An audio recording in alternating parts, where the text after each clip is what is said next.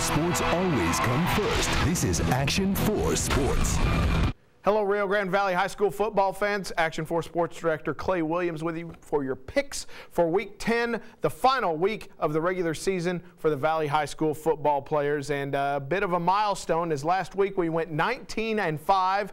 19 and 5, that's very good. The milestone is that after 10 weeks, that makes us 164 and 64. An exact 100 games over 500 for our picks for this year. Not bad. That puts us at about an average of 16 wins and 6 losses for every week. I'll take 10 games over 500. We've finally gotten to where we need to be. Let's see if we can improve on it. With the 11th week of week 10 of our picks, we'll start on Thursday with McAllen Rowe at La Joya. Rowe with a lot to play for. They will win this game at La Joya ISD Stadium. Sharyland at Mac High. What a fun game. Neither one of these teams with anything to play for except a lot of pride. You know it will be hard fought, and I've got Sharyland coming out on top there.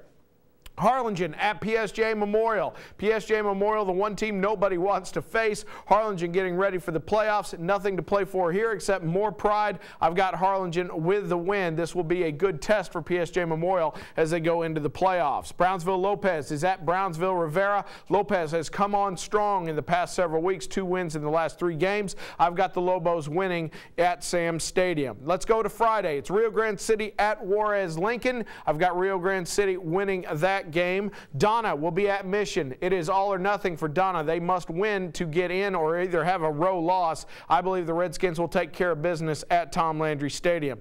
Palmview is at McAllen Memorial. Expect the Mustangs to continue their unbeaten season and go to 10-0 with a win over the Lobos there. Edinburg North at Edinburg Economedes. It'll make it two straight wins for the Cougars to end their season as they keep the Jaguars winless on the year. Weslaco East at Hidalgo. Weslaco East is on a roll and the Wildcats should win at Bill Pate Stadium. PSJ North at PSJA for the Tri-City Championship. PSJ North will take it, and that game uh, at uh, Farr in PSJ Stadium. La Feria will be at Progreso count a win there for the Lions and keep the Red Ants uh, off the winning streak for the 3A in their district. Mission Veterans will be at Edcouch-Elsa. Not as much to play for this time around. Edcouch-Elsa will rebound from last week's loss and win at the Black Hole. Roma at Mercedes. Basically, the winner goes to the playoffs. The loser goes home. I'm taking Roma to win on the road and make the Gladiators' first playoff appearance ever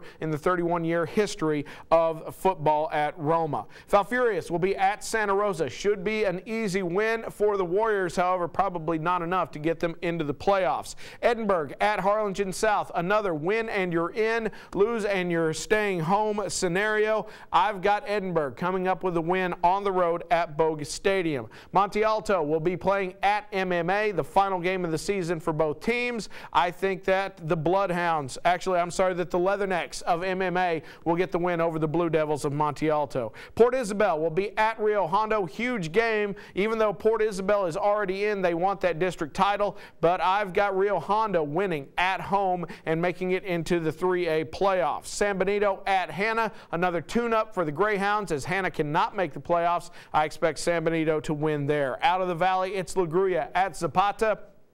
Can the Gators make it two straight wins in Week 10 against Zapata, against the Hawks? I think they can. I think they will make the playoffs, keeping Zapata out. I've got La Grulla with an upset win there. La Villa at Charlotte, all the way at Atascosa County, and I've got La Villa winning there and making their way into the playoffs. Three games on Saturday. It is Weslaco at Brownsville Pace. Expect Weslaco to make it three unbeaten teams for the Valley, Harlingen, McAllen Memorial, and Weslaco as they go 10-0 with a win in Brownsville. A 1 o'clock kickoff there. It's a two for one nightcap at Sam Stadium. At the night game, it is Los Fresnos at Porter. This is a good game for Los Fresnos as they face a a great passing offense from Porter, but I've got the Falcons coming away with a win. And it's Brownsville St. Joseph at Antonian taking on the Apaches. Huge game for them in the TAPPS seeding, and I've got the St. Joseph Bloodhounds with a win there. Those are your picks for the final week of the regular season of Valley High School football. We'll see you right back here next week.